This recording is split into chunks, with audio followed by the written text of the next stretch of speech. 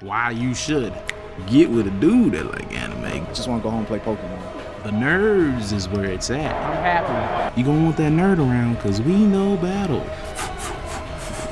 Say three dude come around. Pure effort from Jamaal Williams. Boys come out with that flaming jutsu. Fireball! Hit him with that. Like, we ain't gonna be afraid. We watch too much anime. We used to people one against four, one against five. But get you a nerd. You can't disrespect Pokemon like the Pokemon. We got our stuff together. Best believe. Real life, bills, long We're debt. very motivated. I'm about to cry because I care about y'all. We'll always be ourselves. Which means we're gonna be the nerd. I gotta use my censored words today, like balarkey. That's a bunch of bullwalk. we gonna talk about best anime. First swag Kazekage, leader of the hidden village of the D. He's a nerd. He can't do nothing. He's scared, huh? Sight. Jamaal We Williams. about that action.